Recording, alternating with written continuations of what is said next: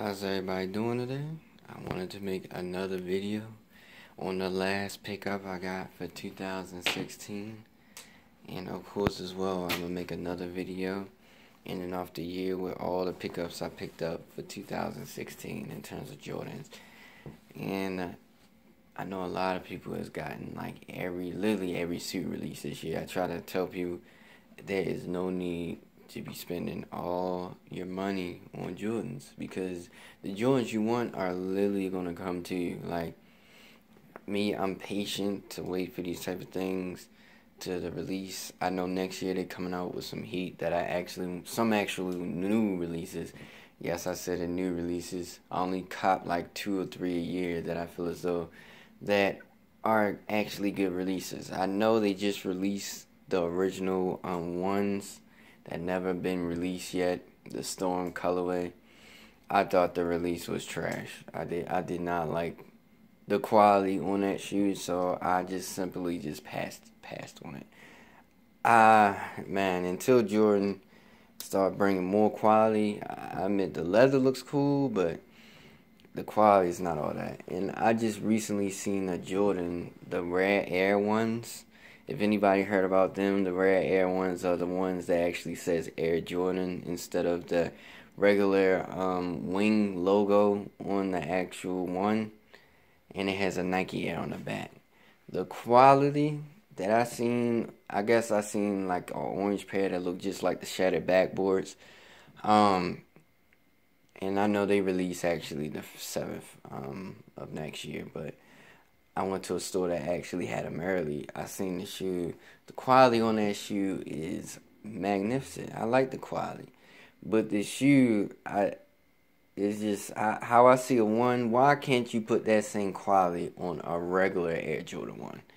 That's the thing with me. But I'm not gonna go rambling into the video. I'm gonna get into the review pickup today, and this is a woman's shoe. This is the Air Jordan 5 Retro Woman's. Um, I already have two out of the four women's fives. So it can only be one of the two. And if you saw the box, yep, I have the Sunset fives now. Um, I got these shoes retail. I paid retail price for this shoe, one ninety nine shipped for the shoe. I didn't even have to pay for shipping, so I paid retail. Um, the only thing about these that I'm kind of on the fence about is the shoe is a older Jordan, so the shoe may may start to separate. I wore these already. I already worn these once, and I started to new notice the shoe right there started to separate a little bit after I won, but it's okay. I like vintage stuff like that. It gives it character. As long as the shoe does not crumble on the midsole, I'm fine with that. And it came with the retro card, of course. Sunsets.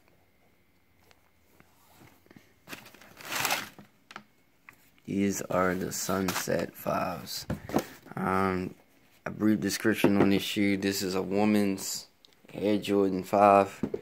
They came out in originally 2006. They came out with three other women's fives. These being one of them. I actually have the other ones too, which are the Shy Pink fives that also released in 2006 in the low top women's, which is the um, University Blue fives that never been retro too. I have that, and then the white metallics, which actually retro last year.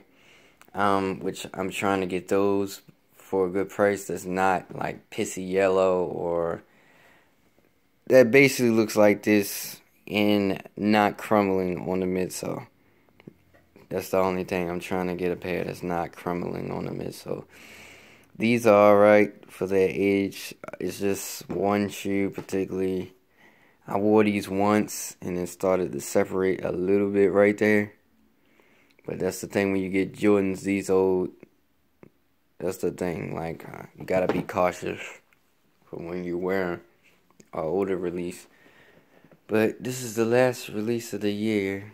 Well, not last release, last pickup for me for the year. Old back in the day release, Shy Pink. I said Shy Pink.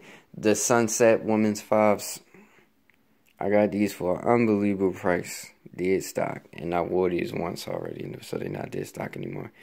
But I'm happy I got them. Because most people you're not going to be seeing walk around with these on. Like, it's just, a shoe like this, you're not going to see people just walking around with these shoes on. Um, I only seen one person at my job that actually had these. And that's kind of encouraged me to get a pair too. Now that I got them, I'm grateful I got them, but I can see just in case I might have to get another pair in a bigger size. Just in case these crumble. I actually have another pair on watch right now for retail. So I'll be alright just in case. But it's just make sure you spend your money wisely and and kind of inspect the shoe. Cause I didn't notice the that right there, the flaw on that shoe until I got it. But I ain't gonna make this video too long. I just wanted to do the last pickup of the year, and I'm gonna do another video right after this um, actually showcasing all the shoes that I picked up in 2016.